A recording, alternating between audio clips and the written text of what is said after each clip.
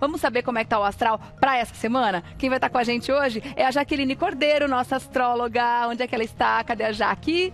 Boa tarde, minha querida. Oi, rei, oi, mulheres, boa tarde. O horóscopo dessa semana é aqui desde casa e a gente tem uma semana, um horóscopo adaptado para o que a gente está vivendo agora, desse isolamento voluntário para quem pode.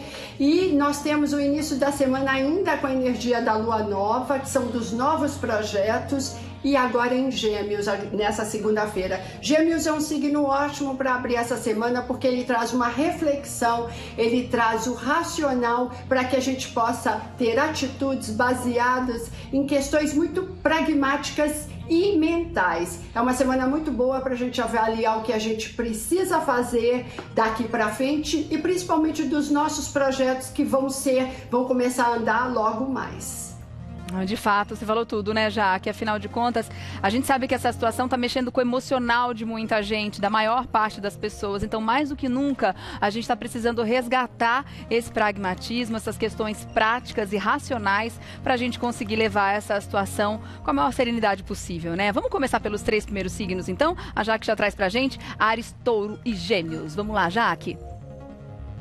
Arianos e Arianas, essa é uma semana boa para projetos em grupo. Nós temos Marte entrando hoje, segunda-feira, em Aquário, que é um signo ligado ao coletivo, à inclusão em todos os sentidos, e ele favorece que você lidere ou encabece grupos. Engajamento social para ajudar os excluídos podem ser também trabalhos rentáveis, onde você, com essa mente que vai estar mais rápida, mas também muito pé no chão, possa ajudar outras pessoas. Então, é, a ideia é que você, Ariana e Ariana, consiga trazer para perto pessoas, monte grupos no WhatsApp para promover mudanças. E as mudanças são ligadas ao coletivo, além do A dica é: a recuperação sua está ótima, saúde plena. Então, assim, reforce sua imunidade. A gente tem aquele melzinho com alho que é super bom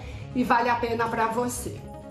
Agora a gente vai falar de touro. Taurinos e taurinas, esse é o momento de trabalhar com o deixar, com desapegar. Não é fácil essa palavra desapegar para taurinos que tem essa relação muito forte com tudo que ama. Eu vou dar uma dica que é um trabalho que a gente chama, que no Feng Shui a gente fala que é um trabalho interno. Desapegar principalmente das coisas materiais. Abre o seu armário, pegue tudo aquilo que você não usa, que não tem mais, que há mais de um ano você não pega mais nele e doe, se é possível, ou se não, resignifique as peças, porque quando você muda uma peça que era um colete, vira uma blusa, por exemplo, você está fazendo um trabalho interno de mudar, de flexibilizar. Esse céu para vocês está pedindo um desengessar. Isso tem a ver com a postura, vale a pena essa prática. E agora a gente tem gêmeos, a gente tem uma energia muito boa para vocês nessa semana que Vênus, a deusa do amor, da beleza, das benesses, ela entra no seu signo. E é um facilitador, gêmeos, é, Vênus, quando está num signo. E ela fica aí até maio. Aí a sugestão que eu te dou é o seguinte: tra trabalhe mais a, a amorosidade, o se querer, a sua autoestima. Fica mais fácil nesse momento com a Vênus aí em seu signo, perder peso, trabalhar o corpo, trabalhar atividade física, porque há um querer muito grande. E nesse momento suas palavras ficam muito mais carinhosas. Daí a sugestão que eu te dou é o seguinte: ligue para pessoas, entre em contato mesmo com do virtual, porque na verdade é o virtual que a gente tem agora, com pessoas que estão precisando, porque as suas palavras nesse momento com essa Vênus em gêmeos no seu signo, elas são mais carinhosas e podem ajudar muito o outro. É isso aí, já. Que ótimos conselhos, sem dúvida nenhuma, né? Nunca se cuidar foi tão importante, né? Sempre a gente tem que se cuidar, mas agora mais do que nunca. E cuidar do próximo também, à medida do possível, né? Mesmo à distância, fazer uma ligação, palavras de carinho, isso são sempre muito importantes. Vamos dar uma olhada nos três próximos signos do zodíaco: Câncer, Leão e Virgem. Bora lá, Jaque.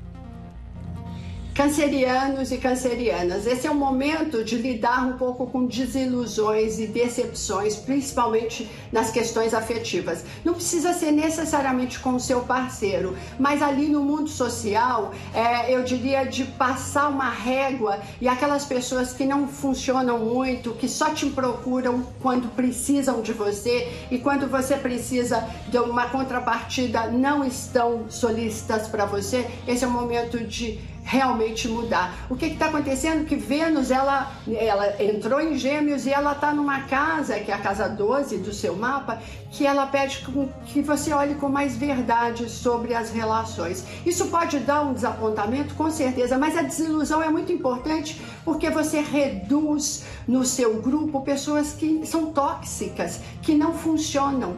E essa é uma semana também muito boa para revisar finanças. Há um olhar muito verdadeiro sobre os seus gastos e como há tempo para todo mundo, revise ali onde você pode reduzir. E uma dica importante também, como signo de água, você é mais sensível, ouça músicas com, com sons de água mesmo. A gente tem assim músicas com sons de cachoeira, de mar, porque ela equilibra. Vocês pegam muito essa vibração que a gente está tendo, essa energia densa do medo, não é que as pessoas têm.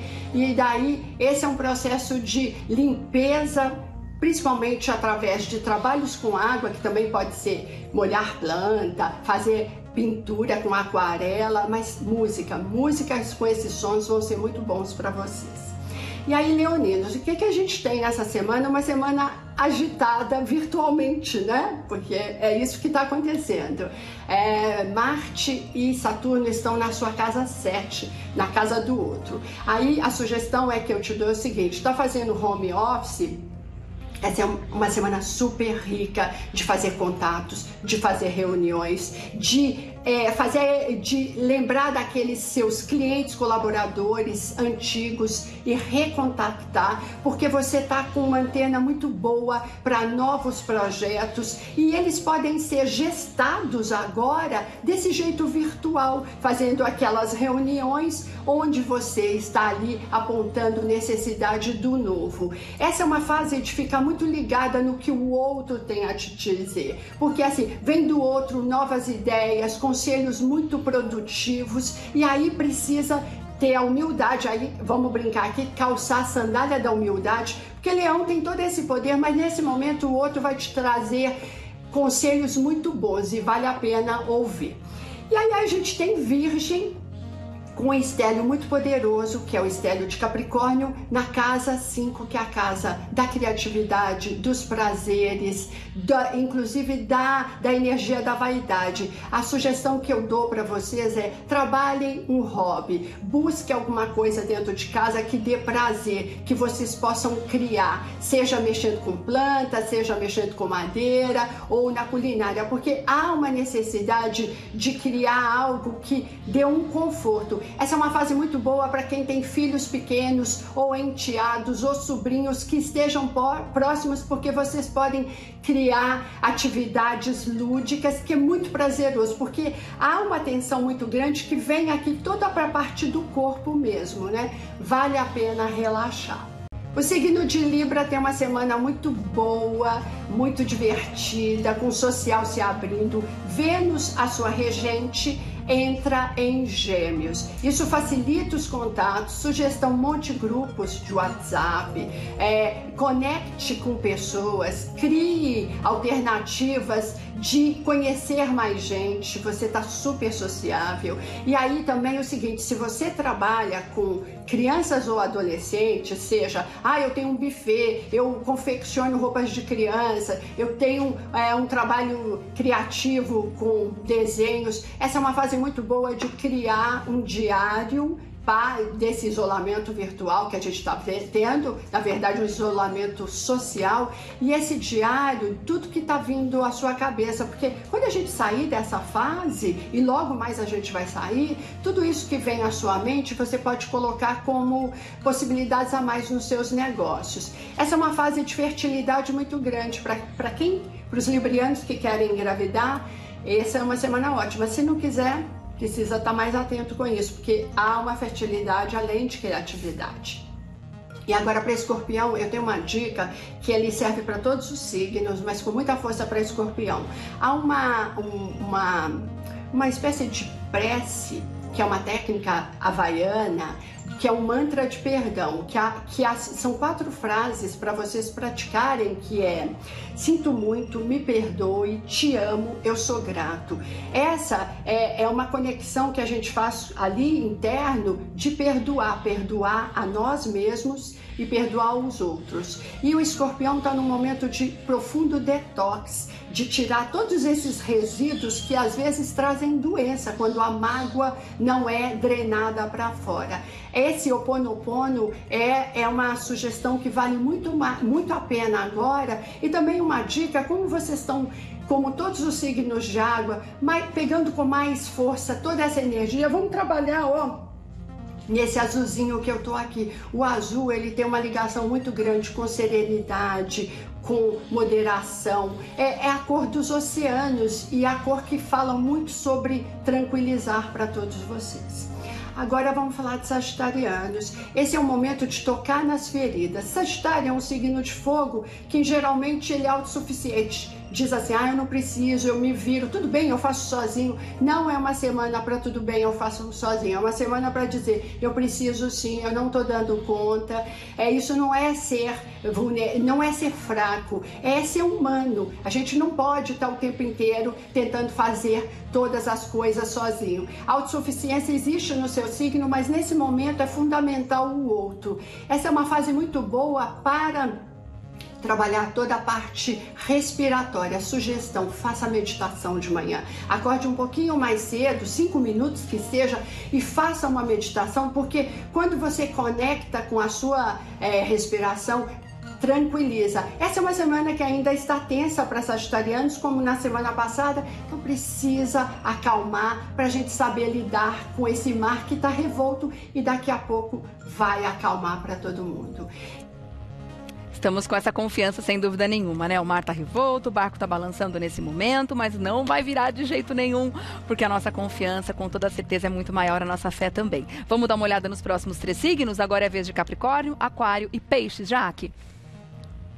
Capricornianos, nós temos ainda muitos planetas no seu signo e ele traz a necessidade nessa semana de estar envolvido com a família numa liderança, mas numa liderança mais suave há temas ligados ainda à família, podem ser temas bobos, como reforma, a necessidade de mudar alguém de lugar, acomodar um, de um quarto que está uma pessoa para outro, principalmente se você tem é, pais idosos ali com você. E aí a dica é muita atenção se é, esses pais idosos estão na sua casa com a parte de mobilidade, porque a gente tem também uma propensão nessa semana, principalmente na terça-feira, que é o dia 31 31, a quedas, a fraturas. Então, atenção com isso, né? Tapete, tudo aquilo que a gente sabe que não pode quando a gente tem os nossos pais mais velhinhos conosco. Uma semana muito boa de usar palavras carinhosas, mais firmes, para colocar limites sobre situações, não só familiares, mas também sobre seus projetos pessoais e profissionais. E eu vou dar uma dica: se você estiver muito carregado, eu adoro usar esse. esse hum, objeto de decoração aqui, mas ele também pode estar em acessórios, que é o olho grego ou o olho turco. Ele tem uma energia de afastar o negativo, tirar a mente, desfocar a mente do pesado. E se você está muito focado no pesado, procure é, filmes, procure ver algum tipo de história ou filmes que tenham a ver com o que você gosta, bichos, culinária, mas para desfocar um pouquinho, porque senão vem para a saúde com certeza. Agora, aquarianos, a gente tem uma, um movimento importante entrando no seu signo, que é Marte, que entra hoje, segunda-feira, no seu signo, além de que a gente já tem Saturno. E aí, o que, que acontece na vida do aquariano, que é muito bom nesse momento, que é uma ação prudente, é uma assertividade com o pé no chão, é uma objetividade, mas sem viajar na maionese. Os planos são muito concretos e isso vem muito para os seus projetos pessoais e também para suas parcerias. Se você tem algum tipo de atividade que envolva o grupo, isso pode ser muito bom agora de dá ideias que realmente funcionam e nesse momento, Aquário é um signo vanguardista, mas às vezes pensa tão longe que não dá para encaixar nesse momento. Essa é uma fase muito boa para mudanças de hábitos de saúde. Esse Saturno com esse Marte aí, ele pode te fazer conseguir mudar, por exemplo, alimentação, ir para uma alimentação mais saudável, cortar é, vícios como açúcar ou, por exemplo, sal, qualquer tipo de vício fica mais fácil de ser cortado agora com esse posicionamento, inclusive emagrecer, porque há mais disciplina agora. E para encerrar o nosso zodíaco, a gente tem os piscianos que também, como Câncer e escorpião estão mais sensíveis, estão mais susceptíveis nesse momento e a dica é: faça alguma atividade que te dê prazer, alguma atividade de cura. E eu adoro mexer com plantas. As plantas são seres que comunicam com a gente, que trazem realmente equilíbrio. Mexer com uma plantinha, se você tem uma horta, ou tomar um banho de alecrim, que ele vai te dar essa leveza e também vai te dar é, esse respirar, de seguir a sua intuição, mas também sem ficar tão pilhado no que é de negativo. E aí eu vou dar uma sugestão também, que eu adoro cristais, é ter ametista perto, sabe? A ametista, ela faz o que o gato faz, ela dá uma limpeza. E os piscianos ainda estão muito afetados pela energia do que está acontecendo. E aí também outra dica que pode ser muito bacana é contatar os seus queridos com essa sua amorosidade que é muito boa. É isso aí, eu deixo um super beijo. Quero sugerir para quem não tem ainda o meu livro, ele está ótimo agora para a gente saber o dia a dia do que está acontecendo com a gente. Um beijo muito grande e tudo de bom.